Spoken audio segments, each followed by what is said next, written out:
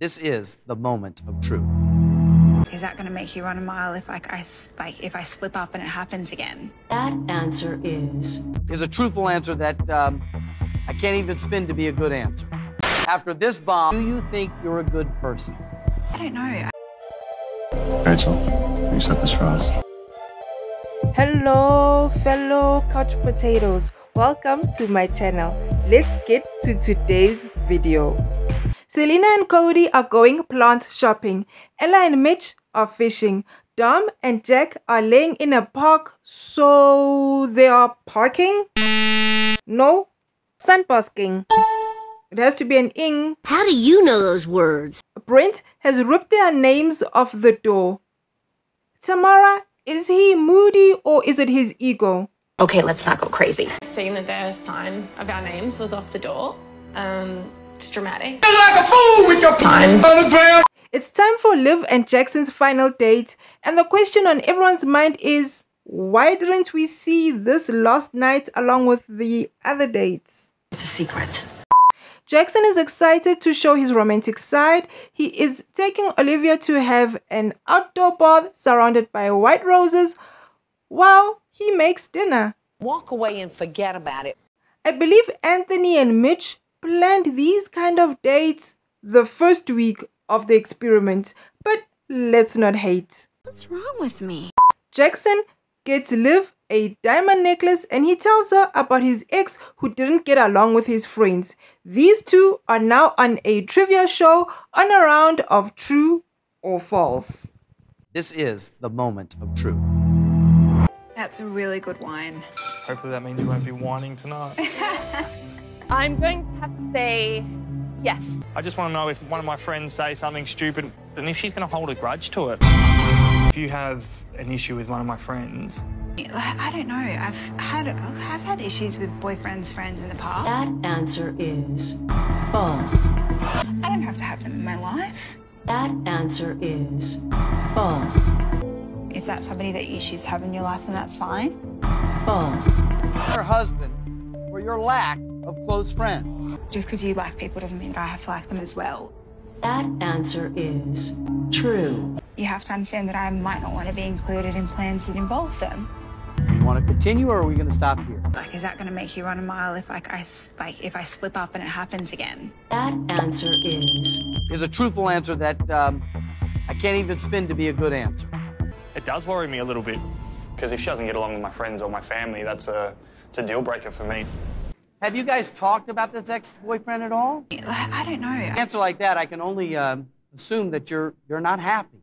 So going forward, I'm going to try and keep my mouth shut. After this bomb, do you think you're a good person? I don't know. Boys' night and girls' night has been announced. Given so few couples have made it to the end, the producers have invited past participants. Al is pumped while Mitch wants to crack the Daniel code. I think Daniel and, and Carolina are pretty pathetic. I think morally and ethically it's just wrong. Society sucks. In a weird turn of events, the girls' night is being held at the restaurant Brent co manages. Tamara tells Ella that Brent tries to say he's a restaurateur, but he probably just I think he waits tables. He says he's a restaurant specialist. I'm no idea. I think he makes shit up to sound good, to be honest. I'm so over it. If you can't say something nice, don't say anything. Daniel and Caroline think they deserve a prize for still being together two weeks later. What? You Can't all be winners. Everyone is excited to see Holly. Selina thinks it's like seeing Christmas Day. It was really nice to see Holly. It was like seeing like Christmas Day. She was as cheery as always. The women are being generally respectful to each other when Selin arrives. She wants the retreat tea. I want to know what happened at this retreat. I think that was the next thing I missed out on. A few of the women matter that they don't want to talk about it, but Selin is confused.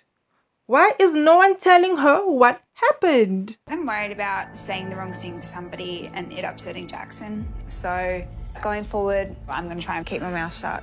Maybe holding my tongue right now is the best remedy. Over at the boys' night, Al worms his way into the venue. I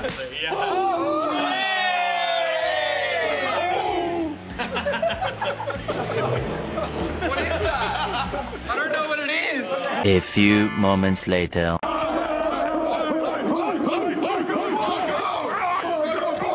Meanwhile, Over at the ladies' night, Selin has wormed herself into some drama with Tamara. Hello. Guys, no one's hearing me. I just want to catch up. Maybe holding my tongue right now is the best remedy. Spicy. Shut up. If you can't say something nice, don't say anything. Mr. Jackson mentioned that I hold grudges. I'd like to not get involved in any sort of battles tonight. I can just like sip my wine and stay well and truly away from all the crazy shit. Since the woman didn't feel like engaging in disrespectful and childish behavior, Selin called them all BIs who are rude. Like, to protect me against the bitches. Shit, I said bitches. Like, that's rude. How because It is we're getting sick of you lecturing us. I'm not, how am I lecturing? I'm not. everybody listen to me. Everybody listen to me. Like, Buckle up, baby. Are you kidding me? Tamara lost it and says, You haven't been through what we've been through. And Selin responds to Tam Tam is to just keep yelling like you do to Brent. You just want to keep yelling like you do to Brent. Um.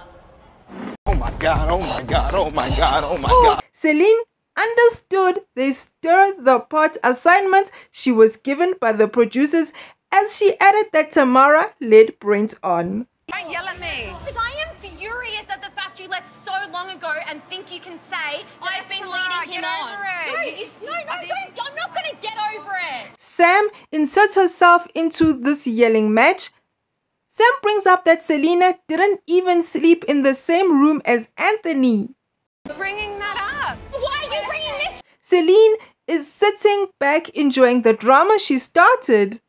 She's watching the girls go on about her while she enjoys a taco.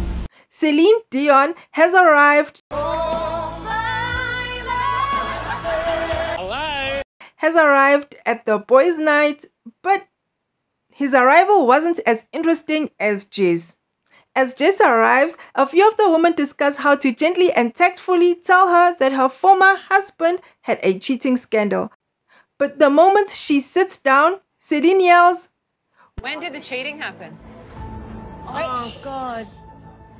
Huh? Sorry, my mistake. Oh, she doesn't know. No. Fruit pie. Uh-uh. Uh-uh. Okay, Okay, back to the boys.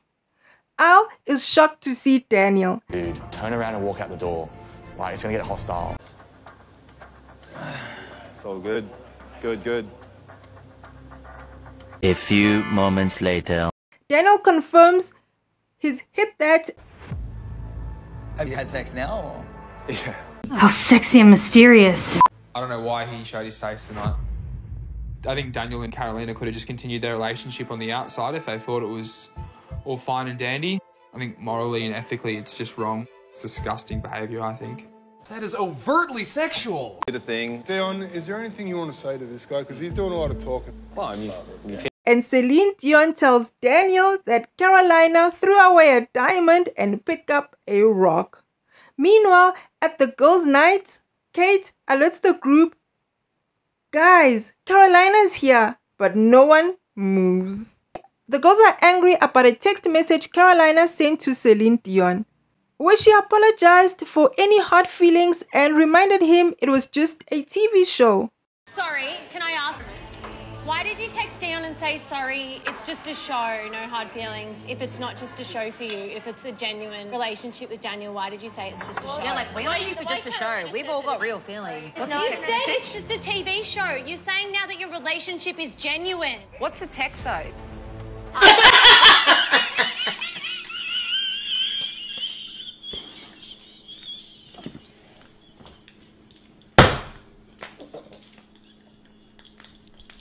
Daniel is awkwardly trying to make conversation. How are you lads going? Wondering how you guys are going. A few moments later. Mitch? I don't want to talk to you, bro. I don't rate ya. Huh? I don't rate ya at all. Alright, that's all good. Al asks if he's in love, and Daniel responds that it hasn't been long enough for that. Mitch yells, You're in love with that kitty cat. Hey, bro. That's your opinion. I reckon I'm on the right path. Definitely not, but whatever. Nah, I reckon, man. It's a short-term fling. Just have a bit of fun and she'll move on, I reckon. Dude, don't say that. Nah, that's what I reckon. Two hours later. think you're nowhere. Just let it go. It's not worth it.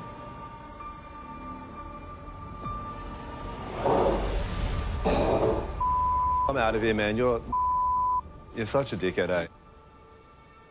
You wigging out? Mitch adds, You're a clown peasant. At this point, Daniel decides to leave. Your relationship Brilliant, bro. gone. It's You're genuine. full of shit. Hey, haven't had to cheat on someone to get it. And that's the end of the show. It's a wrap. Who are you happy to see back on your screens? Let me know in the comment section below. Until next time, see you soon. Oh, you fully Are you ah, missed that. kidding me? Wrong time for a piss, mate. Damn it.